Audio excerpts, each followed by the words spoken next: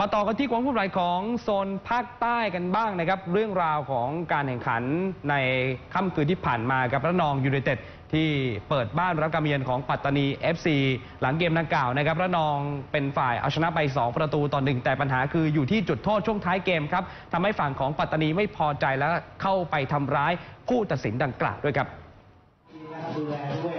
ก็ในความวุ่นวายในเกมการแข่งขันฟุตบอลดิวิชั่น2โซนภาคใต้นะครับที่ระนองยูไนเต็ดนี่เปิดบ้านรับการมาเยือนของปัตตานี FC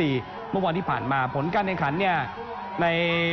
ช่วงของครึ่งแรกเนี่ยนะครับ เป็นเจ้าบ้านนำไปก่อน 1-0 นาทีที่ 25 ทีมเยือนได้ประตูตีเสมอในช่วงท้ายเกม นาทีที่ 65 จนกระทั่งมาถึงก่อนที่จะทบเวลาบาดเจ็บนะครับ นาทีที่ 90 ใจเอารัฐพวงหอมกองหน้าของระนองยูไนเต็ดเนี่ยนะครับผู้ชมหลุดเข้าไปในกรอบเขตโทษ แต่ว่าถูกสกัดไว้ครับเป็นการล้มในในจุดกรอบเขตโทษแล้วผู้สินเนี่ยเป่าเป็นจุดโทษทันทีนะครับโดย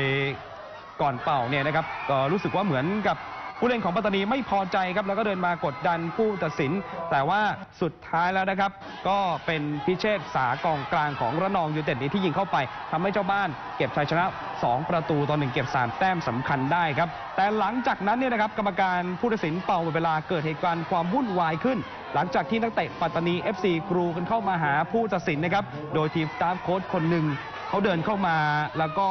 เหมือนกับอารมณ์ฟิลขาดนะครับคุณผู้ชมครับ ไม่พอใจกับผลการแข่งขัน แล้วก็ผลการตัดสิน แล้วก็นี่ครับเสื้อส้มแขนกุดเนี่ยนะครับ ไปสอกใส่ต้นคอของผู้สินนะครับ แล้วก็เป็นจังหวะที่สตาฟโค้ชอีกคนหนึ่งที่สวมเสื้อคลุมสีน้ำเงิน คนนี้เนี่ยนะครับไปฟาดท่อนแขนขวาเข้าใส่ต้นคออีกครั้งจนทางโฆษกสนามของฝั่งเจ้าบ้านนี้ ก็ต้องประกาศนะครับว่าขอร้องให้ทุกคนอยู่ในความสงบนั่นเอง อย่างไรก็ตามครับเห็นความวุ่นวายที่เกิดขึ้น ก็จะมีการรายงานต่อคณะกรรมการฝ่ายจัดการแข่งขันฟุตบอลลีกดีวิชั่น 2 เพื่อนำเป็นบทลงโทษต่อทีมปัตตานี FC และ 2 สตาฟโค้ชต่อไป ที่เข้าไปรุมทำร้าย คณะกรรมการผู้ตัดสิน และผู้ช่วยผู้ตัดสินต่อไปด้วยนะครับ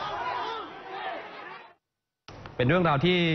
ไม่น่าจะเกิดขึ้นกับเรื่องราวของฟุตบอลลีกดิวิชั่น 2 เราเลยนะครับ ก็ติดตามแล้วก็รวมไปถึงการแก้ไขกันต่อไปด้วย และบทลงโทษของปัตตานี FC จะเป็นอย่างไรต้องดูกันต่อไปเหมือนกันนะครับ